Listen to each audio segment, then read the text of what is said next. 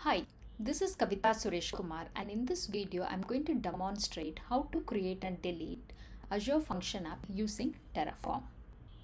I have logged into my Azure portal. Let's see whether any function app already exists in my account. No function app exists.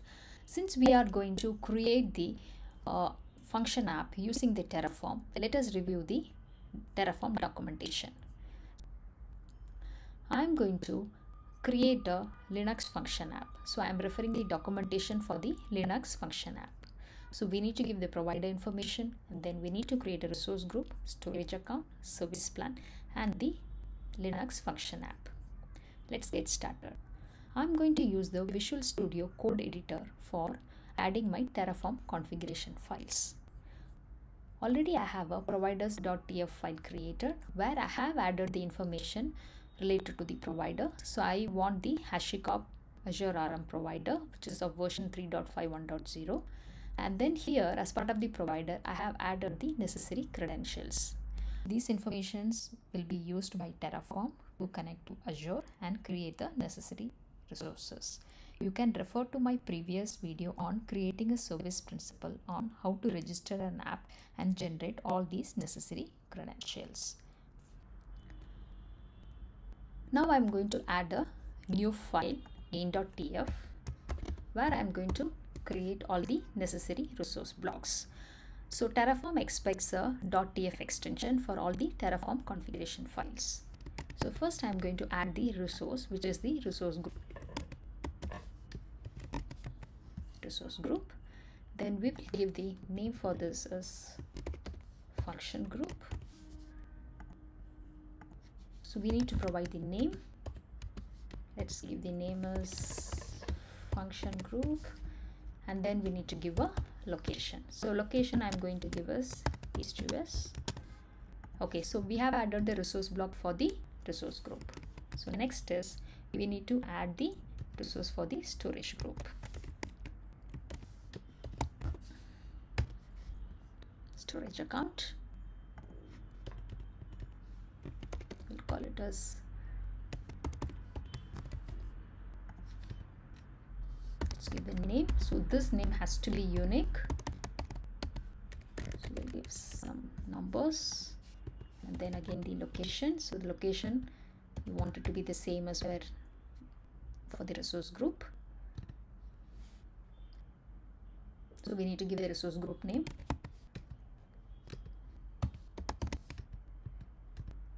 we need to give the account information account type which is going to be standard.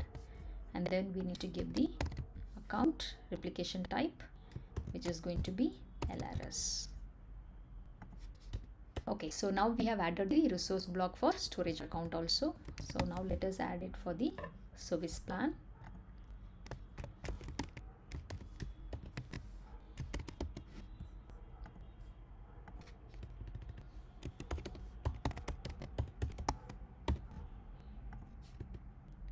let's give the name.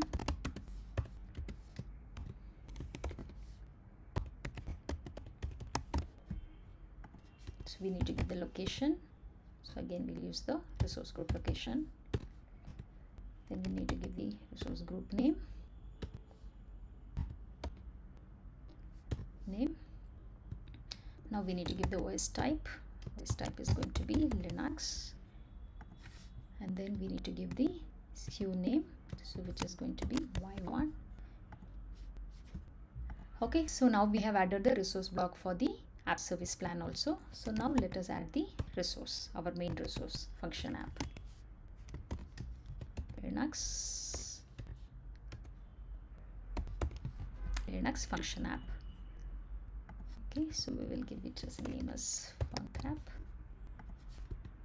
Okay to give a name because this is again we need to give a unique name.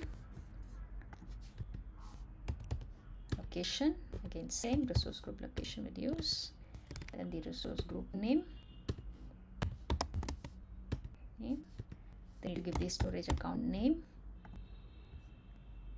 This is storage account dot name. Then we need to give the storage account access key which is going to be the primary access key.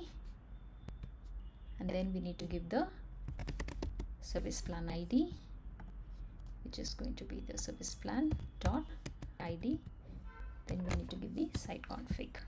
Okay so we have added all the necessary resource blocks for creating the linux function app. We have created the resource we have added the block for resource group storage account service plan and then the linux function app. Okay so we are good to go let's save the changes. Now let's do a terraform init it is finding the plugin and now it is installing the HashiCorp Azure RM version 3.51.0 plus. So terraform init is successful. Now let us do a terraform format to format the files. So it has formatted the main.tf file so now let's do a terraform validate to validate the configuration. Yeah the configuration is valid. Now let's execute a terraform plan. The terraform uses the terraform tf state file where it stores all the information about the existing environment. And whenever there is a new request comes it compares the configuration with the existing uh, environment configuration and then it creates a plan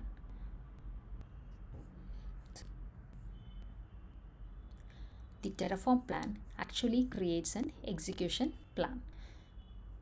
It provides the information on what all the resources will be created what all will be deleted or modified when we apply a terraform apply command. Here you can see it is going to create the function app and then it is going to create the resource group service plan as well as the storage account. Plan it says it is going to add four resources. Okay now let us do a terraform apply the terraform apply also creates the execution plan and then it asks for the approval whether you wanted to apply all the changes. Let's provide the approval. Yes. It is creating the resource group. The resource group has been successfully created. So now it is creating the service plan and the storage account. So it has successfully created the service plan it has successfully created the storage account and now it's creating the linux function app. So it has successfully created the function app also. So you can see that it says four resources added okay? So now let us try and deploy a small function to this function app. Click azure so here you'll be able to see the function app what we created. Yes you can see the function app. It is here so let's create a simple http trigger template. Create a function click. So we'll say that okay this is the folder where we want this project to be added. We'll use it as a python. And we will use 3.10.11 and we'll use the http trigger. So again we will give it as a name as uh, demo. Click enter. We'll use anonymous. So anybody will be able to access this api so it is successfully finished creating a project. Let's go to the explorer. This is a very simple basic python code right? So it expects name as a parameter. The name can be provided either using as a query parameter or you can provide it as part of the json body right? So when you provide that so it is going to give hello and call the name right? So we can change the parameter. Instead of giving us a name we, can, we will call it as a customer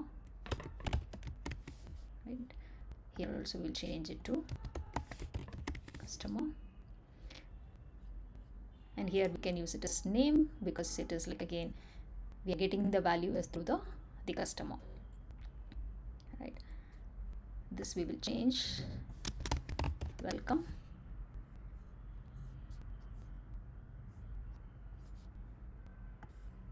We'll just change it to welcome okay. So we have done the changes to the python module. Okay now let's deploy this to the function. Select the function app. Select deploy. So now it is deploying the function to the function app. Okay so the deployment of the function app is completed. Click the output. Yeah we can see the output. So this is the api let's copy this api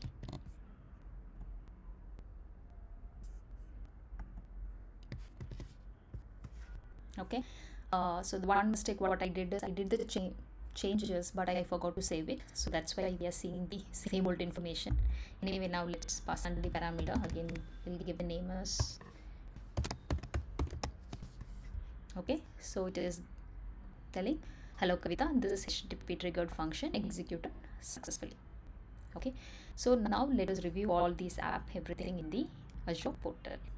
Okay. So let's refresh so we could see the new app which we created using Terraform. We could see it in the portal right? And this is the url so this is what we try to access it. So click functions right? You can see the function what we created demo function right? So if you wanted to, test it as part of the azure portal you can do that. Click code plus test. Okay. So you can see the code okay because this is the code which was got deployed so you can see that here. Then you can click test run right? So here you can give the information as a json body because we have the post method right? So we'll give the name.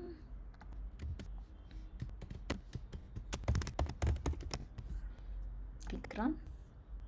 And we could see the same message. Okay so now we have seen how to create a function app using the terraform. Now we will see how to delete all the resources what we created as part of creating the function app using terraform destroy. Okay let's go to the terminal.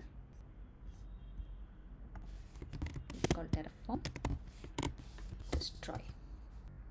As i mentioned terraform uses the terraform tf state file where it has the information about all the existing environment configuration. So now it is going to compare that with the configuration what we have given.